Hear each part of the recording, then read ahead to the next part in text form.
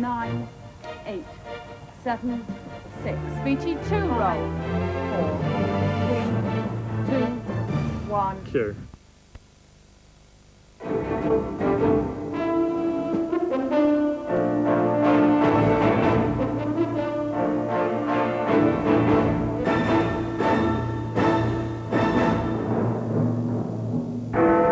A new session, new bills, a whole new look at the Commons. Queen's speech sets out 15 bills and the government's future. Mr. Kinnock says it's been a decade of deficit, division and debt.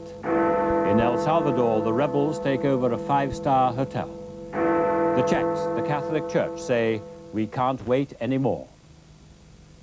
Good evening. Parliament went electronic and will never be quite the same again since this afternoon. It conducted its business to its own rules in front of millions of television viewers. The cameras were allowed in for the first time for the debate between the Prime Minister and the Leader of the Opposition on the Queen's speech, the government's new business for the year. The Speaker, Mr Bernard Weatherill, opened the debate on the Queen's speech. And viewers finally saw Mrs Thatcher's vigorous effort, vigorous effort at the dispatch box. And Mr Kinnock's equally vigorous attack on the government's policies. Before MPs thought they could get away still with the cameras watching. On the stroke of 2.30 this afternoon, the Speaker of the Commons, Mr Bernard Weatherill, opened proceedings in the House. The debate on the Queen's speech goes on until next week. Mr Kinnock and Mrs Thatcher were in turn. The star turns today. In a packed House, and with surprisingly several of the truest and bluest of the Tory ladies on the benches to the left wearing bright red dresses, it all began with Mr Speaker and with one of the oddities of the place. After every Queen's speech, he has to read out the rules and regulations, as it were, all about members not being bribed and about keeping the exits clear. Order.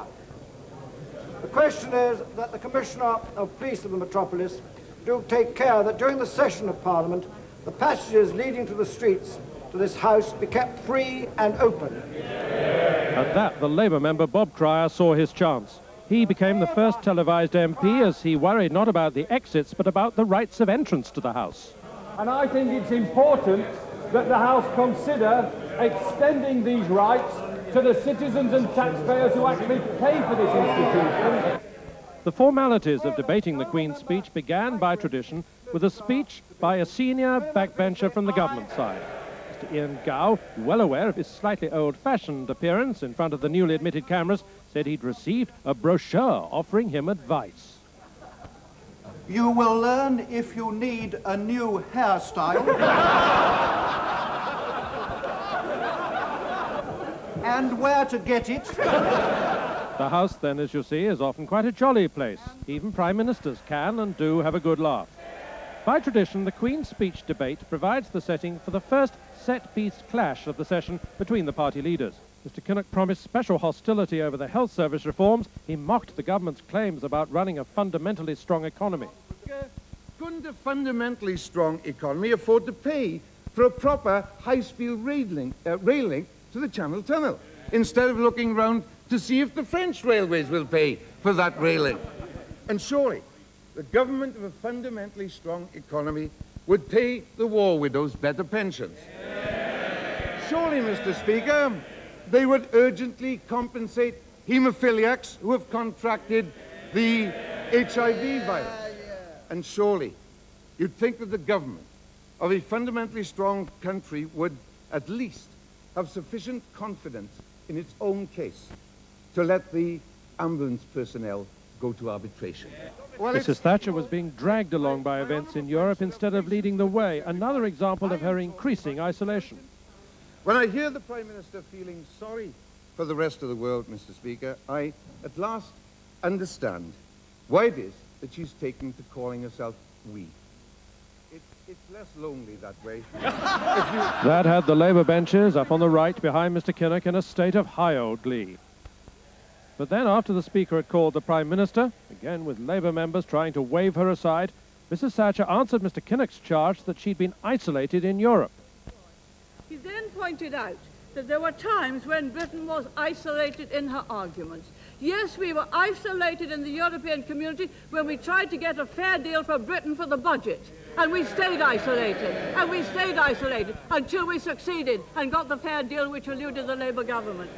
By tradition in the Commons, all MPs may or may not give way during their speeches if another member asks them to, so that that member can make a point. Mrs Thatcher gave way a lot today, something of a change in her style, but when she was ready. One moment. Order. I give way to one of the two honourable members there, and then I give way to the right honourable gentleman over there. I think I think that one who was on his feet longer. Mr Bruce Grocott. I'm grateful to the Prime Minister. Will she now give the House her latest estimate of when she will be so satisfied with her 10 years management of the National Health Service that she will start to use it herself? Mr. Speaker, if there were, as the honourable gentleman knows, if there an accident or disaster, all of us have to use it. In fact, there were so many interruptions that Mrs Thatcher cut short her prepared remarks and ended her speech fairly abruptly. Against the background of a sure defence, our programme set out in the gracious speech of enlarging opportunity, enhancing the quality of life, and improving well-being is the right one for Britain of the 1990s, and I commend it to the House. As so often happens, once Mrs Thatcher and Mr Kinnock have finished, MPs tend to drift away, and so it was to a rather less than packed chamber that the Liberal Democrats leader, Paddy Ashdown, spoke. But he did make a strong point about the government's attitude to the Vietnamese boat people now in Hong Kong.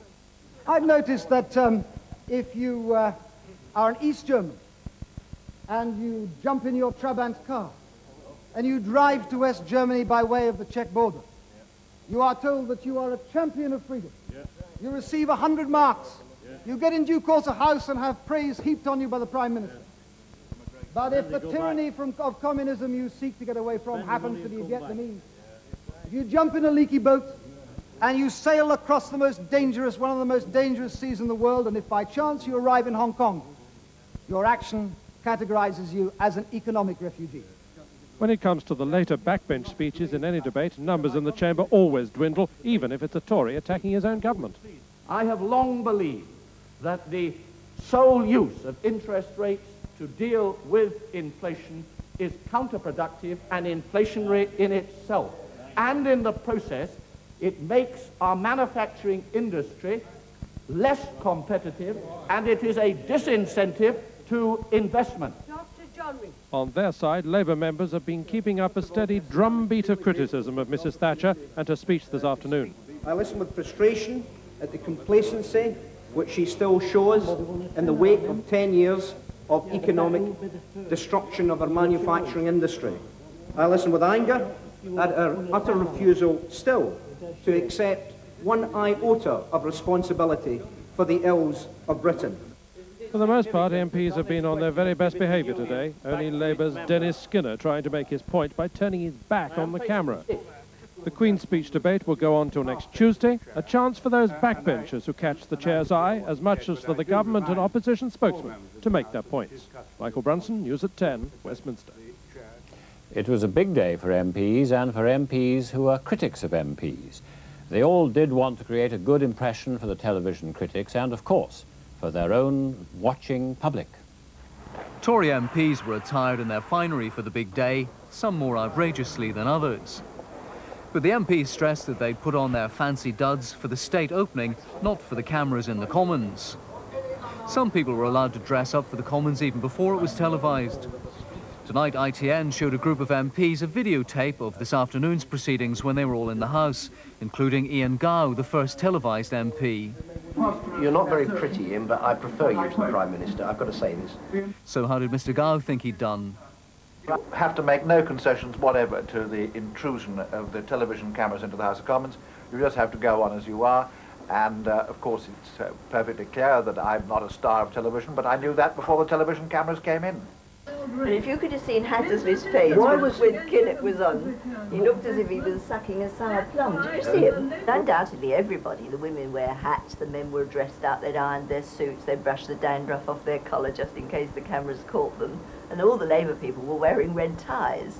But otherwise, I think they look fairly normal, as normal as they're ever likely to look. I think as well, Mrs. Thatcher's hairstyle is, seems to me to be done in the style of soft focus straight off. You know, it's it's already been set in soft focus right from the beginning, and I suspect that's a change. Mm. They have a suspicion that our two bald, uh, bald heads were powdered today.